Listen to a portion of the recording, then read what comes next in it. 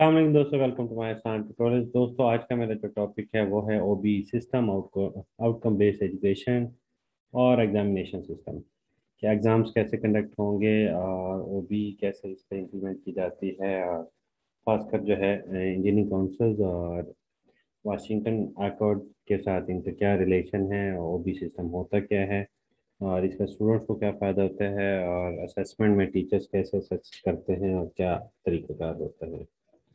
दोस्तों first of all हम चलते हैं कि ओबी की मेन डेफिनेशन के ऊपर या इसकी ब्रीफिंग के ऊपर चलते हैं।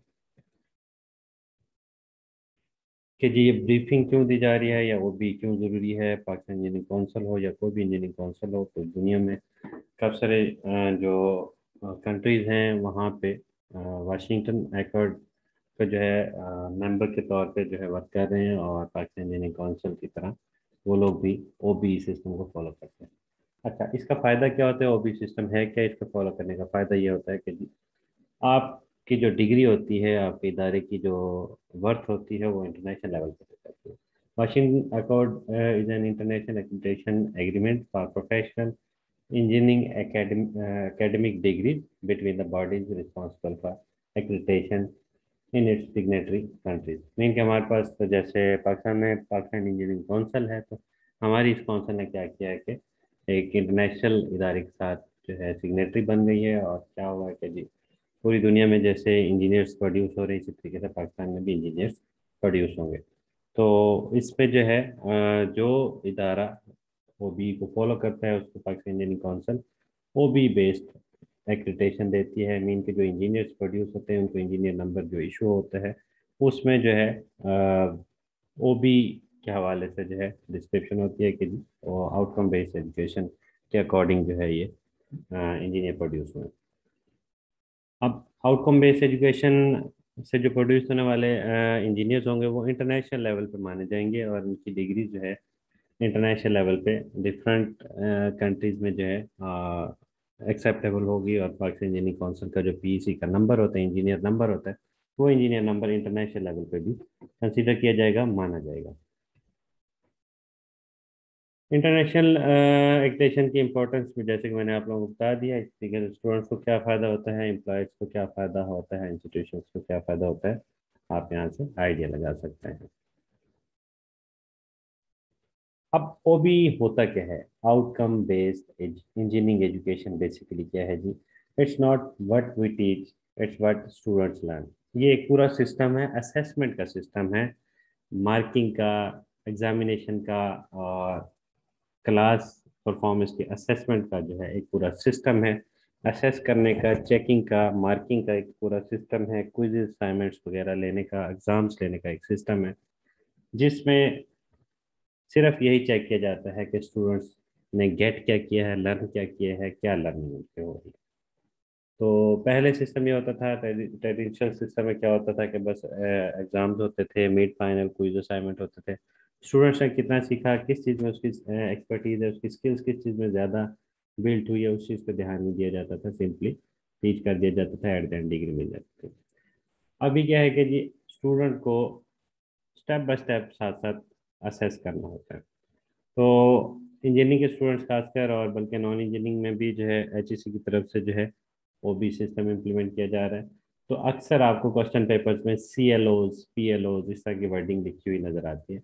तो उसका क्या मतलब है उसकी डिटेल्स क्या है उसका क्या फ़ायदा होता है और अगर आपके सी एल ओज फेल हो जाते तो उसका क्या नुकसान होता है उसकी डिटेल पर मैं आपको डिस्कस करूँगा। OB is uh, an educational process that focuses on on what students can do uh, or the qualities they should develop after their taught. अब इन सारी डिस्कशन को अगर मैं समराइज करूँ आसान तरीके से हूँ तो एक मैं आपको लिस्ट दिखाता हूँ पी की ये सपोज़ के कंप्यूटर इंजीनियरिंग डिपार्टमेंट के जी पी हैं program learning program educational objective हैं जी उसके बाद पी एल होते हैं प्रोग्राम एजुकेशन ऑब्जेक्टिव ये होता है कि जी डिग्री कंप्लीट करने के बाद क्या क्या ऑब्जेक्टिव जो है कंप्लीट किए जा सकते हैं। और इसके अलावा जो पी हैं प्रोग्राम लर्निंग आउटकम ये हैं कि complete four year degree program में चार सालों में जो है एक स्टूडेंट क्या क्या कुछ लर्न करेगा, उसके अंदर क्या क्या चीज़ें क्या क्या क्वालिटीज़ हैं। सबसे पहला पीएलओ अगर डिस्कस करें तो इंजीनियरिंग नॉलेज है कि उसको इंजीनियरिंग का कितना नॉलेज है। दैन उसके बाद प्रॉब्लम एनालिसिस के हवाले से कि उसको कितना एनालिसिस करना आती है। इसी तरीके से नेक्स्ट हमारे पास जो है डिज़ाइन एंड डेवलपमेंट सोल्यूशन उसके अंदर कितनी स्किल्स हैं डिज़ाइन के हवाले से इन्वेस्टिगेशन एनालिसिस के हवाले से कितनी स्किल्स हैं, और मॉडर्न टूल्स और सॉफ्टवेयर हों हार्डवेयर हों, या टूल्स को कौन कौन से टूल्स को ये यूज़ करते हैं, और उसके अलावा engineers engineer and society ability उसके अंदर क्या क्या है कि सोसाइटी को क्या कुछ डिलीवर कर सकते हैं? इन्वायरमेंट एंड सस्टेनेबिलिटी से रिलेटेड एक पी है, इस तरीके से एथिक्स से रिलेटेड है और इंडिविजुअल एंड टीम वर्क के से रिलेटेड है। Communication project management and life long learning अब ये सारी चीज़ें जो हैं, ये मेन वो पॉइंट्स हैं जो कि एक स्टूडेंट के अंदर असेस किए जाते हैं चेक किए जाते हैं। और कैसे असेस करते हैं? डिफरेंट क्विजेज के थ्रू असाइनमेंट्स के थ्रू एग्ज़ाम्स के थ्रू और डिफरेंट जो है असेसमेंट मेथड्स के थ्रू और प्रोजेक्ट के अंदर भी और हर चीज़ के अंदर जो है चेकिंग हो रही होती है। और वो चेकिंग कैसी होती है? आपके क्वेश्चन जो है स्पेशल वो बी बेस्ड होते हैं। वो कैसे क्वेश्चन होते हैं? क्विज एग्जांपल के तौर पर मैं आपको दिखा देता हूँ। उसमें आपको आइडिया हो जाएगा कि कैसे जो है वो बी सिस्टम फॉलो किया जाता है। ये हमारे पास एक क्विज आपके सामने एक नज़र आ रहा होगा। ये एक सवाल दिया हुआ explain the difference between return and jump instruction ये माइक्रो प्रोसेसर से रिलेटेड सब्जेक्ट का एक क्वेश्चन uh, है। इसमें जो एक्सप्लेन और अंडरलाइन किया हुआ है ये एक कीवर्ड है। इस कीवर्ड से गेस किया जा सकता है कि ये कौन सा सी एल अचीव हो रहा है इससे और कौन सा प्रोग्राम लर्निंग आउटकम जो है इससे अचीव होगा। तो सपोज़ कि हमारे पास ये पी एल ओ वन इसमें जो है अचीव होगा और उसके बाद C L O one sorry P L P L O नहीं सी एल ओ वन इसमें अचीव होगा और सी एल ओ वन के साथ उससे कंसर्न जो पी एल होगा, उसकी असेसमेंट इसमें डिस्कस होगी। इस तरीके से दूसरे क्वेश्चन में जो है कीवर्ड यूज़ हो रहा है यूजिंग और यूजिंग से रिलेट कर रहा है सी एल टू अब ये कीवर्ड्स कैसे होते हैं, कैसे डिसाइड होते हैं, ये बेसिकली ब्लूम टेक्सोनॉमी एक कोई कॉन्सेप्ट है कीवर्ड्स का एक पूरा सिस्टम है, उसके थ्रू होता है। जैसे कि हमारे पास अंडरस्टैंडिंग रिमेम्बरिंग अप्लाइंग एनालाइजिंग और एवेलुएटिंग क्रिएटिंग ये सारी जो चीज़ें हैं। और ये क्या है? इसके डिटेल्स आपको भी शेयर करते हैं। इसमें कीवर्ड जो आपको नज़र आ रहे हैं, हर चीज़ का एक लेवल है और उससे रिलेटेड एक कीवर्ड है। उन कीवर्ड से रिलेटेड जो है पूरा पूरा एक ओबी का सिस्टम चल रहा होता है। चलते हैं वापस प्रेजेंटेशन पे और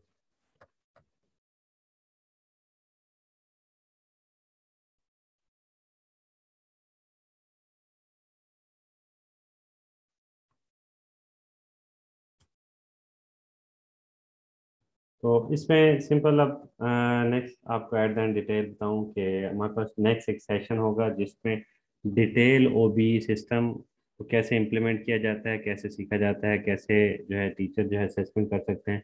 इससे रिलेटेड जो है एक सेशन होगा जो कि इंजीनियर उस्मान सरदार साहब के साथ होगा।